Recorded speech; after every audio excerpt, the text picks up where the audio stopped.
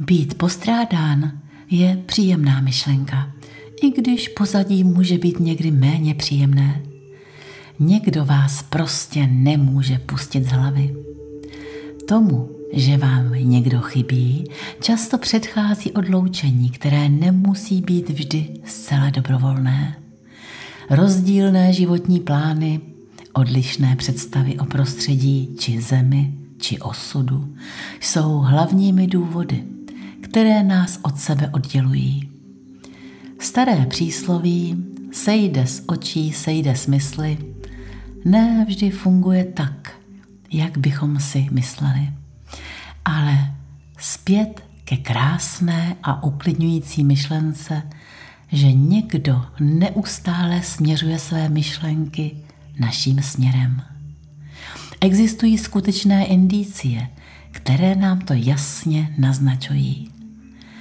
Lidé, kteří mají nebo měli mezi sebou hluboké citové nebo duchovní spojení, se mohou znovu a znovu setkávat ve snech. Dokonce i zemřelí lidé nás dokáží navštívit v našich snech. Sny jsou úžasným místem setkávání všech lidí, kteří spolu z různých důvodů nemohou být během dne v bělém stavu.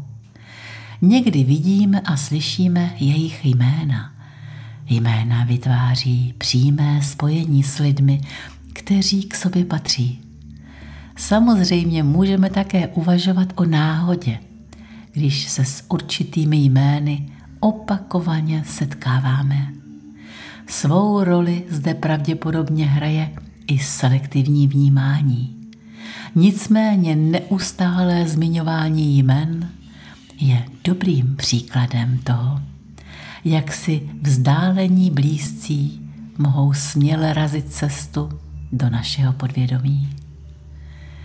Husí kůže je lékařský fenomén, který dosud nebyl uspokojivě objasněn a proskoumán. Přepadá nás v různých okamžicích, někdy zdánlivě bezdůvodně. Je však také dostatečným znamením, že se s námi někdo snaží navázat kontakt. Je to stejné jako příjemný dotek živého člověka, po němž nám naskočí husí kůže. Když nám někdo chybí, můžeme tyto vibrace doslova cítit. Ona nebo on vysílá naším směrem tolik dobrých myšlenek, že náš energetický tok musí zákonitě vzájemně rezonovat. Ti, kteří byli kdysi úzce spojeni, tuto vzájemnou blízkost nikdy skutečně nemusí ztratit. Stále se můžeme navzájem cítit, pokud si to dovolíme a jsme otevřeni energiím z duchovního světa.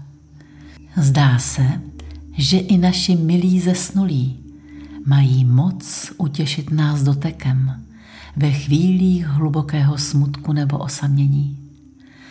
Cítíme se být objímáni, cítíme jejich ruku na své ruce nebo dotek na rameni, stejně jako by to dělali, když byli naživu, aby nás mentálně podpořili. Lidé, kteří nám chybí, se nás mohou dotknout i na dálku.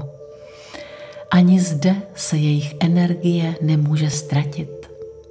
Také záchvaty kýchání jsou příznaky, které byly vždy považovány za pevné znamení, že na nás někdo intenzivně myslí. S tím vyrůstali už naši rodiče a prarodiče, což naznačuje dlouhou tradici tohoto poznání. Takže nevysvětlitelné záchvaty kýchání nebo nekončící epizoda škytavky jsou obvykle dobré myšlenky, které k nám někdo posílá. Bez ohledu na to, co uděláme nebo neuděláme, dříve nebo později se vždy ocitneme zpět na cestě k ní nebo k němu. Zdá se, že veškeré naše snahy a úsilí sledují pouze jediný cíl. Co nejdříve se s touto jedinou osobou opět setkat tváří v tvář. Spojení s nimi je stále silné. Každý, kdo někdy sdílel hluboké pouto a lásku s nějakou osobou, na tento pocit jen tak rychle nezapomene. Mezi dvěma lidmi se vytvoří takové pouto, které nedokáže přerušit žádná vzdálenost, žádné odcizení a někdy ani smrt. Pokud tento kontakt stále zřetelně vnímáte, je ona nebo on myšlenkou s vámi a přímo se vnucují do vašeho vědomí. Vzpomínky jsou zvláštní věc a ukazuje se, že ani oni na nás ještě nezapomněli. Na nedobrovolném odloučení je nejtěžší nespočet drobných připomínek, které jenom čekají, aby nám každý den připomněli naše blízké. Každý předmět v domácnosti, každý strom u cesty, všechny věci, jako by chtěli den za dnem znovu a znovu vyprávět náš společný příběh. Neexistuje vůně, zvuk ani událost, která by nás nepřiměla neustále myslet na toho jednoho člověka. Často se také stává, že se s danou osobou stále potkáváte. Je to znamení? Svět je přeci jen malý. Někdo nás postrádá a jeho podvědomí se postará o to, aby se naše cesty neustále křížily. Tyto synchronicity jsou vzrušujícími náznaky toho, že silou našich myšlenek je možné mnoho věcí. V tomto případě dejte šanci myšlence, že by tato osoba mohla hrát ve vašem životě nějakou roli. Nemusí se nutně jednat o romantickou nebo vášnivou záležitost. Ona nebo on vás mohou podpořit i v jiných ohledech.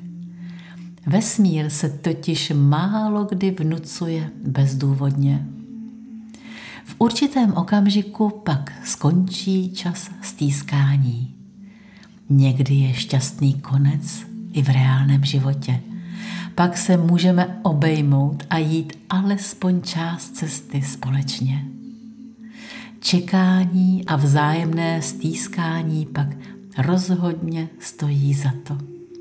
Všechna ta nádherná znamení nebyla jen útěšnými pomůckami k překlenutí doby odloučení od svého milého. Byly předzvěstí tohoto shledání.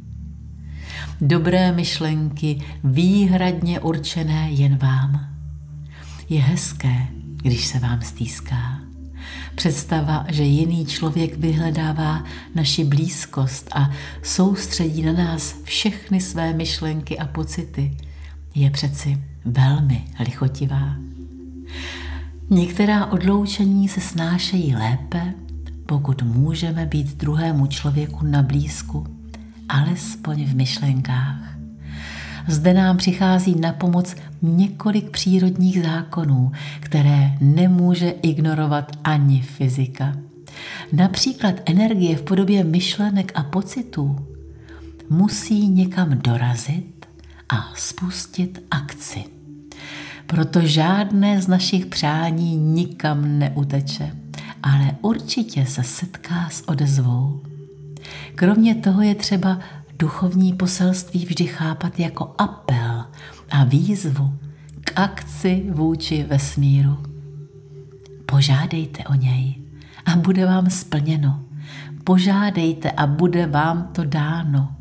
Do té doby se však musíte obrnit trpělivostí a vypořádat se s méně příjemnou okolností, která přichází z bolestí odloučení a touhy a ty nevyhnutelně narůstají, pokud nejsou přijata žádná protiopatření. Platí totiž, že čím méně můžeme svou touhu uspokojit, tím je větší.